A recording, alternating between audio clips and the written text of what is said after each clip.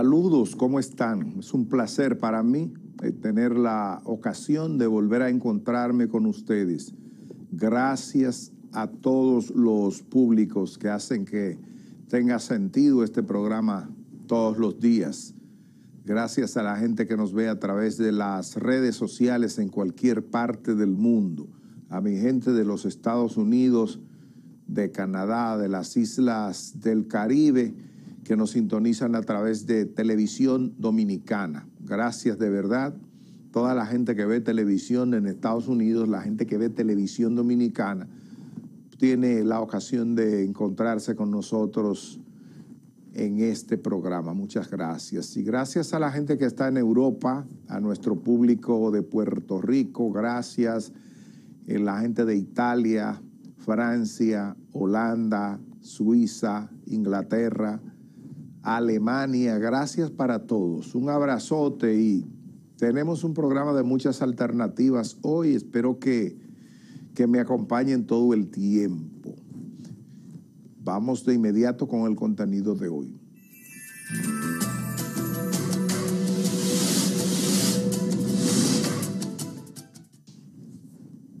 Aquí hay algo que va a tener que ser aclarado y que no vamos a conformarnos con cualquier explicación.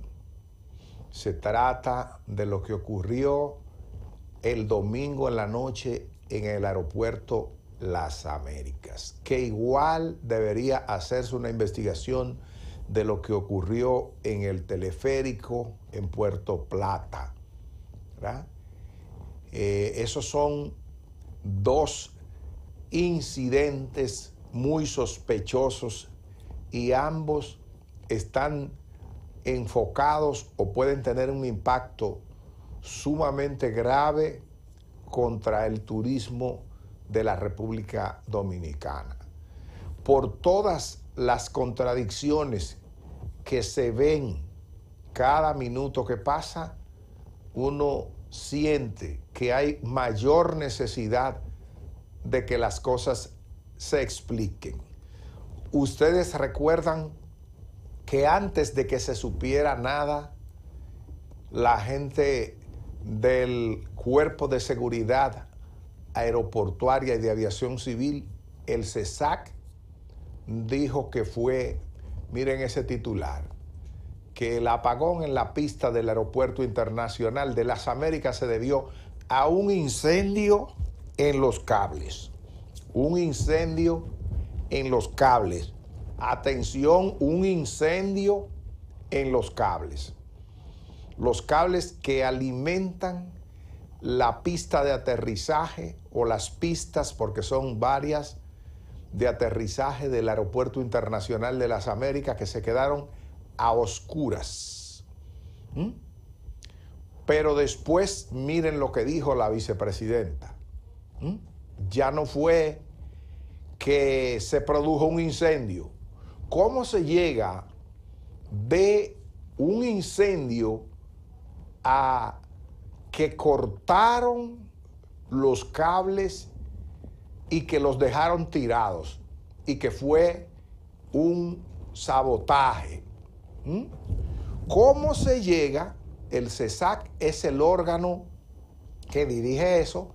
El CESAC dice que es un fuego, un fuego, cómo se llega de un fuego a un corte de cables de vándalos sin explicar nada y que dejaron los cables tirados porque eso fue lo que dijo la señora vicepresidenta.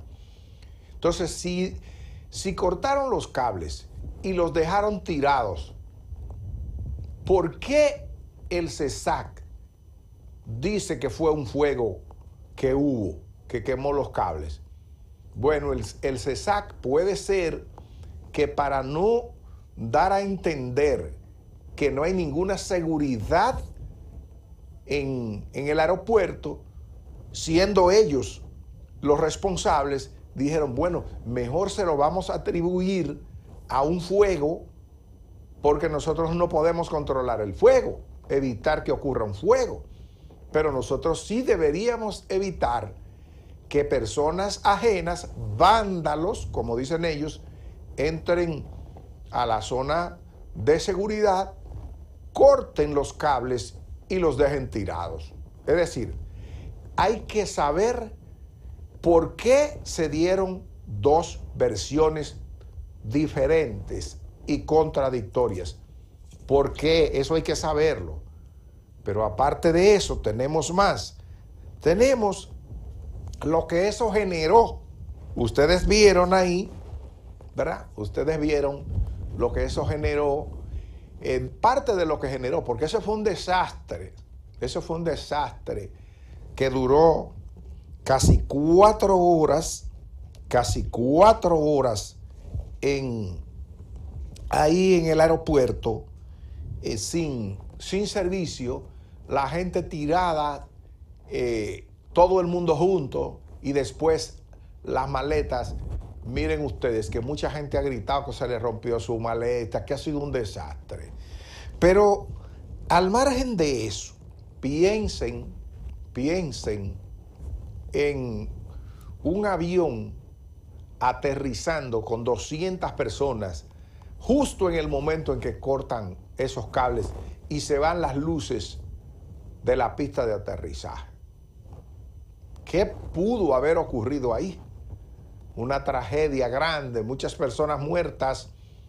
¿Quién sabe cómo, cuánto, ni, ni, ni qué? Y obviamente el descrédito internacional para la República Dominicana. Entonces, eso tiene que aclararse. ¿eh? Eso tiene que aclararse. Voy a compartir una fotografía con ustedes mientras, mientras les leo lo que ha dicho la prensa hoy. Ese señor que ustedes ven ahí es el director del CESAC o CESAC, el que dirige el cuerpo de seguridad aeroportuaria y de aviación civil. Es el general Carlos Febrillet, director del CESAC. Ese señor ¿ah? es el garante de lo que hay pases. Él es el director. No sé si él o quién, pero a la prensa le han dado información eh, de supuestamente cómo va el proceso y dice la prensa que están avanzadas las investigaciones que se llevan a cabo los organismos de las Fuerzas Armadas y de inteligencia del Estado sobre el acto de vandalismo. Siguen diciendo que es un acto de vandalismo. Que el pasado domingo, en la noche, dejó sin luz la pista de aterrizaje del Aeropuerto Internacional de las Américas y dice que aunque no hay personas detenidas, las investigaciones eh, tienen muy buenas pistas, por lo que en las próximas horas el país se enteraría de quiénes fueron los responsables del, del sabotaje. Dice la prensa y se lo atribuye a fuentes confiables. No se sabe si es ese señor que está ahí. Las investigaciones del caso están muy avanzadas, por lo que esperamos que en las próximas horas los responsables materiales e intelectuales de este vandalismo, siguen diciendo que es vandalismo, estén en poder de las autoridades correspondientes. Habría dicho la fuente a la prensa. Y ellos insisten en que el corte de los cables eléctricos del circuito que alimenta el sistema de luces de la pista de aterrizaje del Aeropuerto Internacional de las Américas fue un acto de vandalismo y dicen que fue cometido de manera intencional y planificada. No entiendo lo de vandalismo. Yo creo que es un acto de terrorismo. Un acto vandálico es coger materia fecal y tirárselo a una iglesia o a una cosa de esa. Pero una cosa sí, que pudo haber causado la muerte de, de cientos de personas y que implica un crimen internacional. ¿Cómo me van a decir que es un acto vandálico? Es un acto de terrorismo. Entonces, ese señor que ustedes vieron ahí, el director del CESAC, eh, mucha gente ha dicho, bueno, pero ese hombre es enemigo del gobierno. ¿Qué está pasando? Pero ocurre que no. Miren esa fotografía, que no se ve, no se distingue mucho, pero ustedes ven la que tiene el, circulito azul, las dos, hay dos. Ese que ustedes ven que está abajo, adelante, eh, de rodillas, aplastado, es el presidente Luis Abinader, cuando era niño en el colegio. Y el otro que ustedes ven parado al extremo es el general Carlos Fedrillet. Es decir, esa gente son amigos desde muchachos, desde niños. Estudiaron juntos y son amigos. Claro, ese general también es, fue el técnico del helicóptero de Danilo Medina, porque él es un técnico, ¿verdad? Él es un técnico. Entonces, bueno, no se sospecha que ese general pueda estar vinculado a ningún tipo de conspiración por el vínculo que tiene con el presidente Abinader. Incluso ese señor fue ascendido de coronel a general y se le otorgó el rango transitorio de mayor general por el presidente Abinader.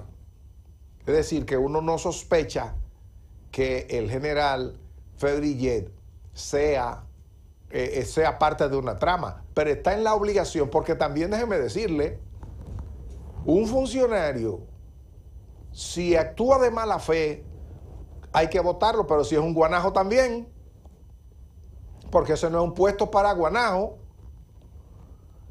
Es decir, que si se demuestra que él no tiene la capacidad para ese puesto, por más amigo que sea del presidente, no vamos a dejar que nos explote un avión ahí en el aeropuerto. Hay que tener cuidado y hay cosas que uno no entiende porque ahora más que nunca está restringido el acceso al aeropuerto. Porque ahora ni siquiera dejan entrar al que va a llevar los pasajeros. Entonces, ¿cómo es que unos tipos pueden ir, pam, pam, pam, cortar los cables? Eso hay que aclararlo. Esperamos que lo, que lo aclaren. Ahora, este programa, señores, está de inicio a fin, cargado de cosas que a ustedes les va a interesar, así que no se muevan de ahí, que regreso de inmediato.